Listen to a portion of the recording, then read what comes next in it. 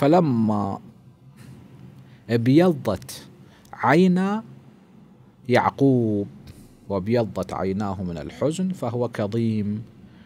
فلما أبيضت عيناه وأراد الله سبحانه وتعالى شفاء يعقوب كيف شفاه الله سبحانه وتعالى؟ بواسطة هذا الثوب. زين.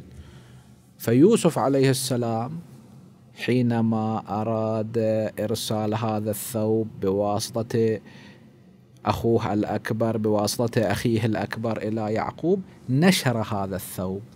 يعني فتح التميمة وأخرج هذا الثوب. فلما أخرج هذا الثوب انتشر ريح هذا الثوب العطر الذي فيه. فمن مسافة أيام بين مصر وبين كنعان مقر يعقوب مسافة 19 يوم أو 20 يوم. في السير العادي حسب ما يبدو من بعض الروايات. فشعر بتلك الرائحة وقال لهم إني لأجد ريح يوسف لولا أن تفندون. طبعا الأخ الأكبر لاوي قطع هذه المسافة بسرعة يعني كل منزلين من ال 19 أو ال 20 منزل كل منزلين قطعه في يوم واحد يعني خلال عشرة أيام أو أقل أوصل هذا الثوب إلى يعقوب فألقاه على وجهه فارتد بصيرا. الله سبحانه وتعالى جعل هذا القميص وسيلة لبرد نار إبراهيم لحفظ إسحاق لحفظ يعقوب لحفظ يوسف لإرجاع البصر يرتد بصيرا إلى يعقوب. الله سبحانه وتعالى هو الذي جعل هذا الشيء. واحد يجي يستشكل يقول هذا الشرك بالله؟ كلا. الله سبحانه وتعالى جعله. يعني قصة يوسف هذه رد قرآني على الذين يتهمون المسلمين بالشرك حينما يعملون بالأدلة الشرعية. يقول أنت شلون تطلب من غير الله سبحانه وتعالى؟ زين إذا الله هو الذي أمرني بأن أطلب من غيره. في قصة يوسف أولاد يوسف أرادوا أن يستغفروا الله سبحانه وتعالى. ما ذهبوا مباشرة إلى مسجد وقالوا يا الله اغفر لنا مع أنه كان يمكن لهم ذلك. ذهبوا إلى أبيهم النبي وقالوا يا أبانا استغفر لنا ذنوبنا إنا كنا خاطئين.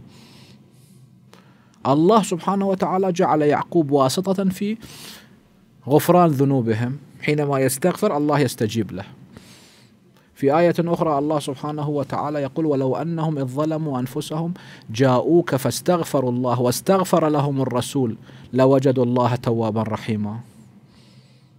لم يقل ولو أنهم إذ ظلموا أنفسهم ذهبوا للمسجد مباشرة ورفعوا أيديهم وقالوا يا الله اغفر لنا. مع أنه يمكنهم ذلك. لكن الله سبحانه وتعالى جعل نبيه واسطة في الرحمة. وما أرسلناك إلا رحمة للعالمين. رحمة في هدايتهم رحمة في قضاء حوائجهم رحمة في استجابة دعائهم يكون واسطة بين الله وبينهم. وآثار الأنبياء هذا قميص يوسف. الاحتفاظ بهذا القميص لم يكن شركا مع أن إبراهيم قد مات إسحاق احتفظ به مع أن إسحاق مات يعقوب احتفظ به. ثم بعد ذلك يوسف أرسله إلى أبيه ليك لكي يأتي بصيرا. مع أنه نبي من أنبياء الله. كان قادرا أن يدعو الله سبحانه وتعالى أن يشفي بصره والله قادر على أن يشفي بصره بدون هذه الواسطة. لكن الله سبحانه وتعالى جعل هذا القميص وسيلة الله جعله. احتفاظ آثار الصالحين هذا بحث مفصل. الله سبحانه وتعالى يقول واتخذوا من مقام إبراهيم مصلى. مقام إبراهيم شنو هو؟ حجر.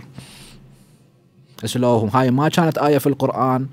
هؤلاء التكفيريون الذين يكفرون المسلمين كانوا يقولون هذا شرك شرك لأنه أثر قدم إبراهيم حجر فيه قدم إبراهيم حينما كان يبني الكعبة.